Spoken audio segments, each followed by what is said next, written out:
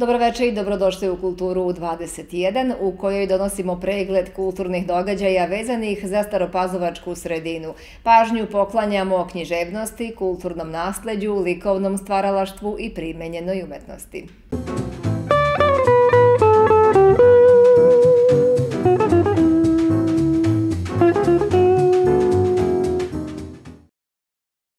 Povodom obeležavanja dana Udruženja Krvsko-srpskog prijateljstva, a u okviru projekta Stopama naših predaka, amatersko pozorište Pepo Krsto iz Surduka odigralo je prethodnog vikenda predstavu o srpskim heroinama u Prvom svetskom ratu na sceni Krvskog narodnog pozorišta. Projekat Stopama naših predaka na jedinstven način u radu sa talentovanim đacima čuva i izučava sećanje na boravak srpske vojske na Krfu. Tvrđava grada Krfa bilo je prvo što su srpski vojnici videli sa lađe Francuske nakon povlačenja preko Albanije u januaru i februaru 1916. godine. Stopama svojih predaka krenulo je 102 godine kasnije i amatersko pozorište iz Surduka, koje je povodom obeležavanja Dana Krvskog udruženja Grčko-srpskog prijateljstva, a u okviru projekta Stopama naših predaka odigralo predstavu o srpskim heroinama u Prvom svetskom ratu na sceni Krvskog narodnog pozorišta. Tek sada sam ponosan što sam radio tu predstavu na tu temu ovaj, i što sam bio na ovom mestu i u ovo vreme. Jako emotivno, stvarno, ovaj, um, jednostavno ne možemo da zadržimo suze ovaj, da glumimo. Mislim da bi oni bili ponosni na nas. Stanovnici Krfa su na razne načine izrazito vezani za Srbiju i događaje koji su se ovde odigrali pre jednog veka. Selo odakle ja dolazim, Ageos Mateos, je selo gde se nalazila 13. Drinska divizija. Moja tada 16-godišnja baka imala je svakodnevni kontakt sa srpskom vojskom i onima koji su ostali na krfu. Znala je dosta fraza na srpskom jeziku, da broji do hiljadu, a do smrti je koristila srpske dosetke za razne pojave. Omiljena fraza je bila Nema hleba. Preko nje sam čuo i pesmu Tamo daleko. Tamo daleko. A pesmu Tamo daleko pevala su i deca iz Surduka polažući venac na spomenik Drinskoj diviziji i na spomenik Janisu Jasulasu, seljaku koji je poklonio dragoceni maslinjak za sahranu srpske vojske. O nasleđu srpske vojske između ostalih brigu vodi i srpska radnja i njen predsednik Željko Popović najčešće kroz rad sa mladima. Ja mislim da na tom projektu radimo odlično naročito sa Svetosavskim zvoncetom imamo odličnu saradnju. Svake godine dovode najbolju decu, 50 do 60 najboljih đaka iz Srbije i regije, gde ja mislim sa krfa odu kao, dođe kao deca na krv, a odu kao ljudi. Gostovanje je deo projekta Stopama naših predaka, koji na jedinstven način u radu sa talentovanim đacima čuva i izučava sećanje na boravak srpske vojske na Krfu. Da mi ovaj projekat nismo pokrenuli sa mladima, mi smo faktički dobili još jedan vek aktivnog rada na učenju svog identiteta. Faktički, mislim da je ovo sećanje na istoriju u stvari ulaganje u, u budućnost. Večeri Krvskog udruženja Grčko-srpskog prijateljstva, na kojoj je pored pozorišta i surduka nastupio i hor iz sela Agios Mateos, prisustvovali su najviši zvaničnici opštine Krv. Dirnuti smo svim rečima sa cijelom predstavom. Deca su nam na verodostojan način prikazala svu golgotu i stradanje srpske vojske u Prvom svetskom ratu. Ceo projekat plod je saradnje Patrijaršije Srpske pravoslavne crkve i opštine Stara Pazova. Kako na teritoriji opštine Stara Pazova ne postoji muzej niti jedno mesto koje će sveobuhvatno predstaviti lokalnu kulturu, umetnost, običaje i tradiciju, ideja o kreiranju virtualnog muzeja nametnula se kao alternativa trenutnoj situaciji. S tim u vezi, a zahvaljujući Staropazovačkom centru za istraživanje i promociju kulturnog nasleđa Heritak, realizovan je projekat pod nazivom Virtualni muzej zajednice opštine Stara Pazova, finansiran sredstvima Erste Bank banke i opštine Stara Pazova i to u godini kulturnog nasleđa. Jednim klikom uz prisustvo velikog broja posetilaca zvanično je otvoren muzej opštine Stara Pazova na promociji u priličenoj u Staropazovačkoj narodnoj biblioteci. Za sada je virtuelni, a umesto ulaznice, da biste ga posetili na adresi www.virtuelnimuzejpazova.rs, dovoljan vam je računar ili mobilni telefon. Ono što može da se vidi jesu kulturno-istorijski e, spomenici mapirani na celoj teritoriji naše opštine, zatim e, prikupljene stare fotografije i razglednice, istorijske novine koje su pisale o e, događanjima u našoj opštini, tako da direktno mogu da se pročitaju neki članci iz 40 i neke, 20 i neke godine i slično. Zatim imamo obrađene neke od najčešćih običaja i tradicije koji se praktikuju ovde kod nas u našim krajevima.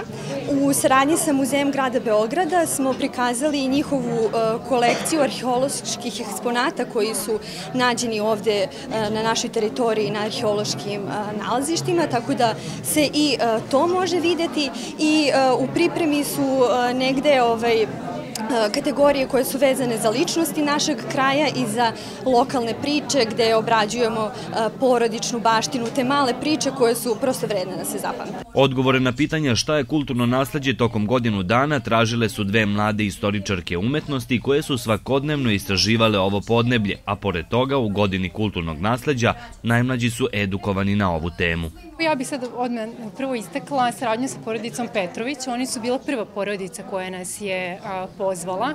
Iz toga je baš onako izašla lepa saradnja. Napravili smo lepu priču o staropazovačkom šeširđi i kroz to se takođe izrodila saradnja i sa školom. Onda su oni od te naše priče napravili neki plakat sa kojim će se predstaviti na saboru narodne tradicije u Beogradu, tako da je to nešto što nam je za sada najzanimljivije i najdraže, jer je upravo to i bila poenta da sarađujemo sa zajednicom i da zajednica na kraju koristi taj virtualni muzej.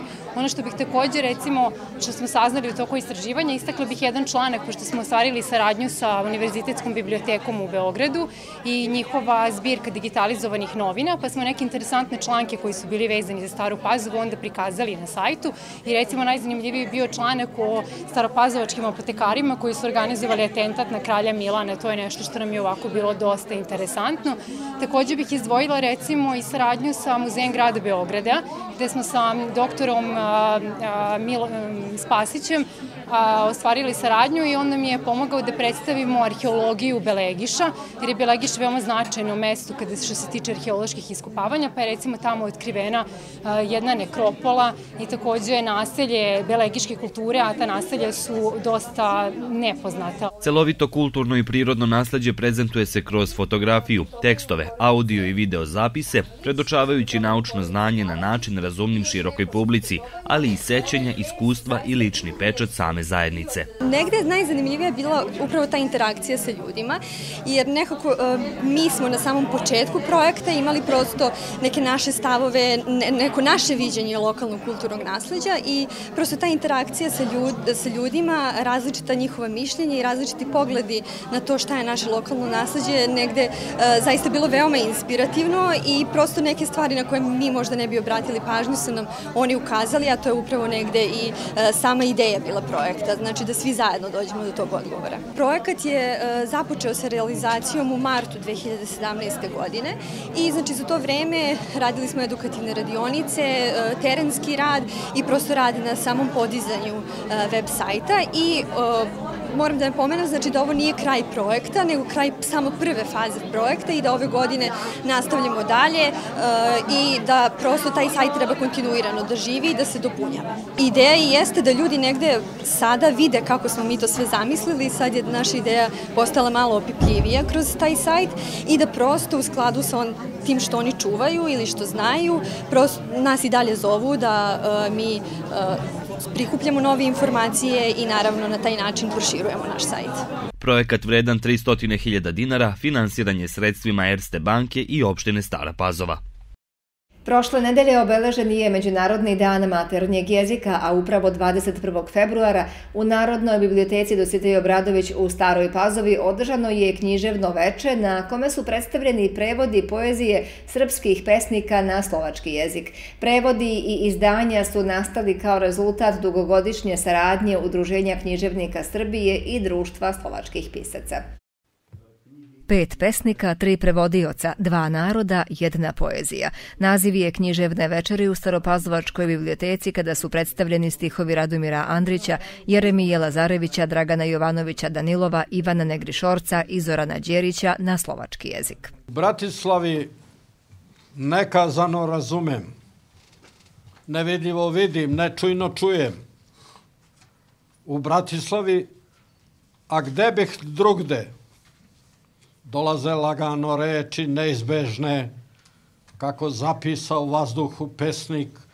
Ticho si upijam z nadreálneho moku a ponáram sa do nevyspytateľnej srpsko-slovenskej rozprávky. Književni odnosi ova dva naroda imaju dugogodišnju tradiciju, a saradnja Udruženja književnika Srbije i Društva slovačkih pisaca, koja je unapređena poslednjih godina, za rezultat ima nekoliko programa, među kojima su i prevodi savremenika na obe strane slovensko-srpskih, a slovačko-srpskim i srpsko-slovačkim književnim ili kulturnim odnosima veliki plus predstavlja i činjenica što u Vojvodini, u Srbiji, živi veliki broj Slovaka, među njima postoje zaista izuzetne imena u svetu književnosti. Saradnja postoji već više od jednog veka i ima duboke istorijske korene. A u novije vreme, ako ja mogu tako da kažem, ima ovih deseta godina ovaj, kako sam ako smem da kažem, ja, predsednik Udruženja književnika Srbije, naravno da sam skrenuo više pažnju na, na i ukazao na, na te mogućnosti saradnje u, u prvom redu sa slovenskim zemljama, ali i naravno i sa našim susedima, svim pet pisaca, to je nešto najnovije što je prevedeno u stvari sa srpskog na slovački jezik. Da, i sa slovačkog na srpski, rekao, preveden je naravno gospodin Bjelik i dobio je nagradu našu, najznačajniju nagradu koju dajemo baš povelja Morave, recimo, to je, ovaj, pa je onda preveden je Ljubomir Feldek, može se reći već klasik, slovačke poezije, pa je preveden ovaj Reznik, pa je preveden Richter, ovaj, naravno ovaj Demak, takođe tu i njegovi romani i poezije. Prevode koji su predstavljeni uradili su Miroslav Demak, Martin Prebuđila i Zdenka Valent Belić, koja je dobar poznavalac stvaralaštva Zorana Đerića, te je ona prepevala njegove nove devinske elegije. Drago mi je što sam i ja u neki način deo ovog divnog projekta i saradnje između dva udruženja pisaca, mada sam u ovom trenutku učestvovala samo u prevodu jedne od zbirki, a prezentovali smo ih danas ukupno pet. E, nadam se da će se ta saradnja nastaviti, jer u ovom trenutku radim na prevodu zbirke pesama Selimira Radulovića, koje nadam se da će izaći do kraja ove godine, e, odnosno hoću da kažem da e, će tih, taj broj već krajem sledeće godine, prilikom našeg nekog sledećeg susreta, biti daleko veći. E, kada se radi o poeziji Zorana Đerića, ona mi je bliska naravno još od studentskih dana, on je do sada objavio ukupno 13 pesničkih zbirki, ja mislim da ih sve dobro poznajem, te u tom smislu mi nije ni bila velika dilema za kog pesnika da se odlučim, odnosno za kog smatram da bi trebalo da bude predstavljeni slovačkim čitaocima. Kao kruna saradnje ova dva udruženja jeste projekat o poeziji i književnosti posvećenoj Dunavu. Dunav kao reka, srednjoevropska, najveća, ajde da kažemo, evropska reka je ona spaja ne samo kulture i države i, i civilizacije, ako hoćemo, i ovaj, u svakom slučaju svih ovih deset zemalja kroz koje protiče Dunav imaju šta da ponude više svetu, kako bismo mi rekli, nečega objedinjavajućeg. Mi smo se zainteresovali za tu poeziju koja je posvećena Dunavu. Ovaj, taj projekat smo nazvali po pesmin našeg velikog pesnika Vaska Pope, Veliki gospodin Dunav. Ovaj, tu su pesme i slovačkih i nemačkih i austrijskih pesnika i tako dalje. Uskoro će u Bratislavi biti objavljen prevod srpskih klasika koji su pisali o velikoj evropskoj reci. U maju je najavljen susret savremenika iz regiona u Indiji, a u okviru projekta očekuju se i prevodi narodne poezije i svih savremenika koje spaja Dunav. Biblija na putevima naziv je izložbe Biblija koja je bila u prostorijama starog parohijskog doma Slovačke evangeličke crkve u Staroj Pazovi.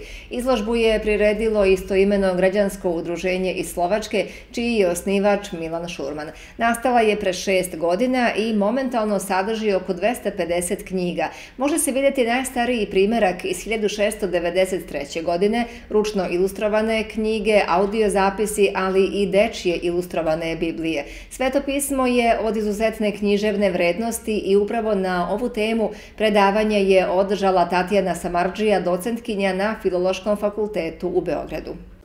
Biblija je knjiga koja istovremeno sadrži informativnu vrednost, prenosi poruku koja ima za cilj da deluje na ljude i da ih pokrene, što je njena druga poruka, a na predavanju u parohijskom domu Slovačke evangeličke crkve u Staroj Pazovi, profesorka Tatjana Sabarđija je govorila o vezi između ove dve funkcije sa osvrtom na lepotu ovog književnog i teološkog dela, što je njena treća poruka. Poruka Biblije je poruka o Božoj dobroti. A poruka Biblije je poruka koja poziva ljude da budu dobri, ali ta poruka je izrečena lepim jezikom.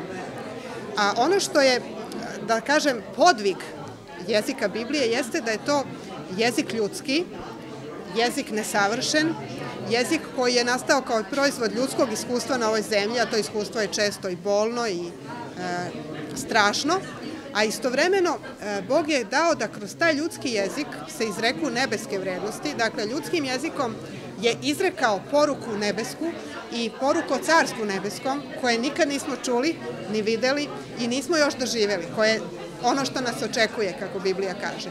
Dakle, prosto sama po sebi Biblija kao tekst, a i prevod Biblije još više, je podvig da se ljudsko, ljudskim izrazi Božje.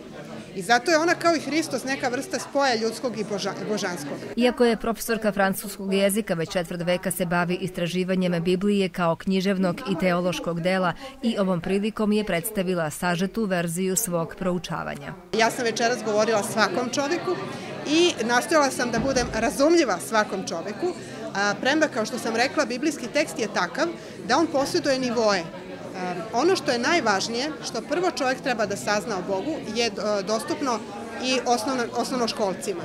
A onda postoje neki viši nivoji koji ne pretpostavljaju neku elitno neko znanje, samo za adepte, nego prosto e, nivoje značenja koje nam otkrivaju u stvari još više koliko je Biblija božanstvena knjiga i koliko nije napisao čovek, nego je, e, ja da kažem, nije nadahnuo čovek, čovjek je napisao, ali je nadahnuo Bog.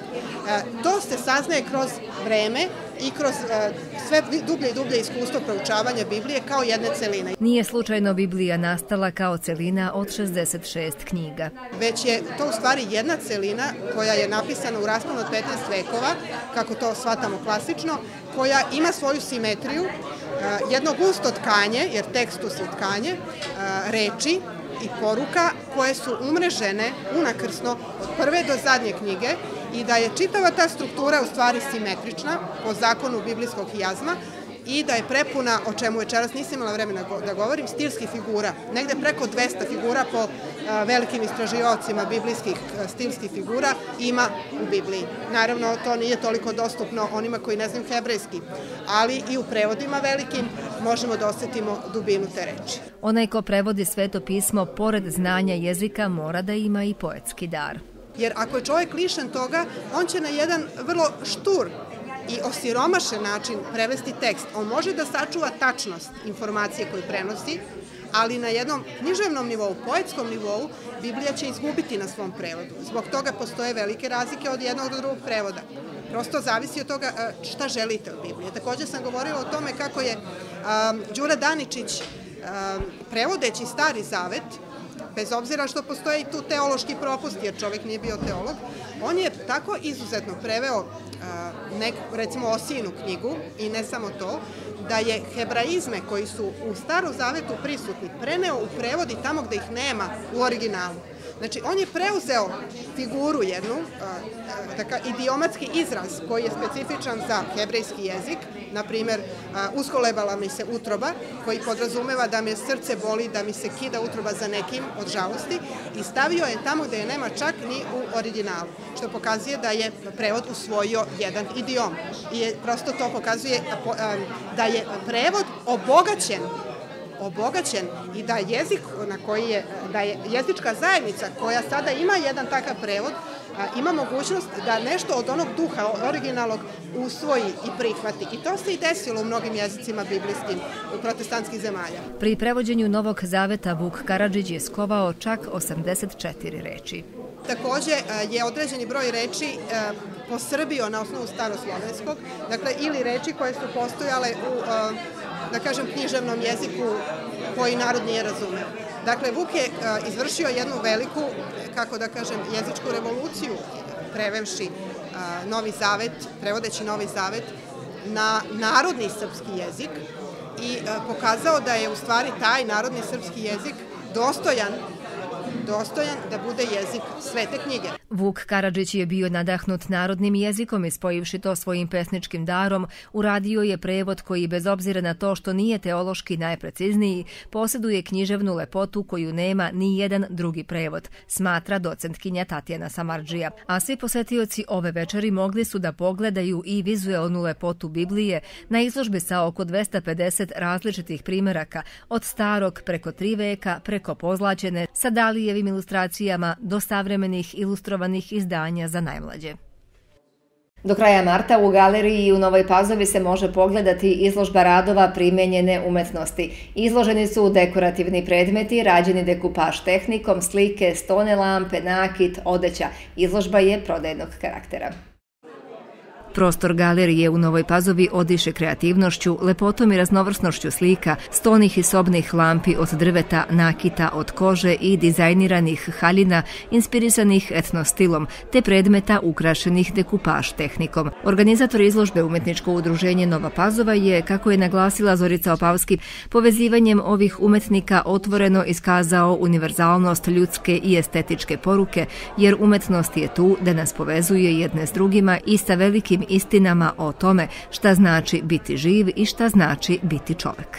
Svojom osobenom imaginacijom one su izgradile svet harmonije kroz emociju kao činioca njihovog stvaranja i svojim delima dale punoću i vizuelno bogatstvo.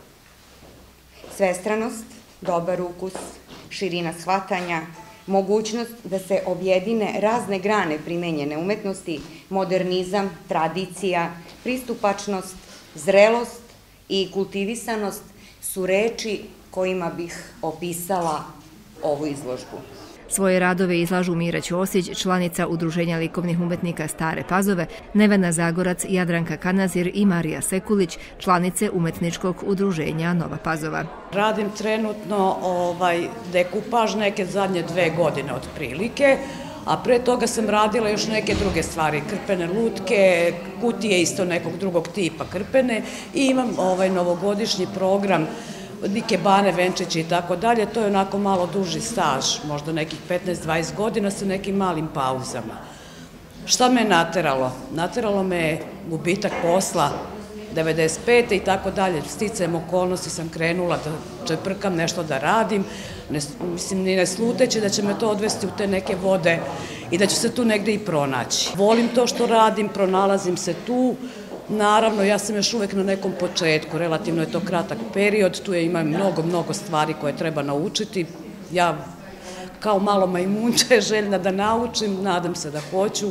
Zadovoljna sam što ovaj, ti moji radovi dođu do nađu svog i kupca, ovaj, i među svojim prijateljima i šire, znači da to što radim ipak zavređuje nečeju pažnju. Da, to su uglavnom stvari koje su bile u staroj pazovi na izložbi, naravno ima i novih, i slika i lampi, a s obzirom da novopazovačka publika nije videla, onda smo odlučili, eto, da predstavimo i ovde.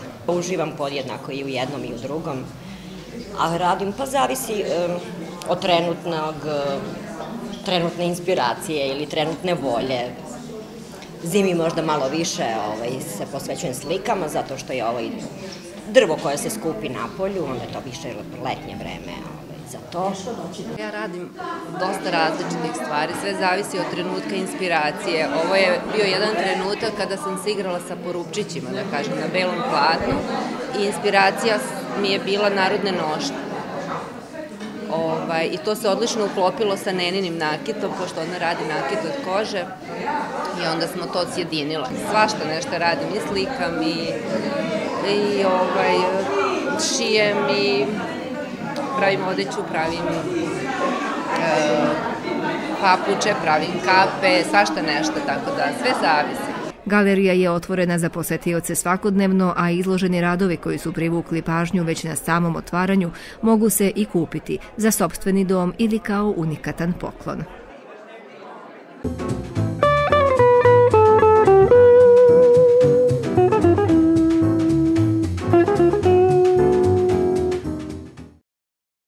Poštovani gledalci, toliko za večeras u izdanju Kultura u 21. Hvala na pažnji i svako dobro. Doviđenja.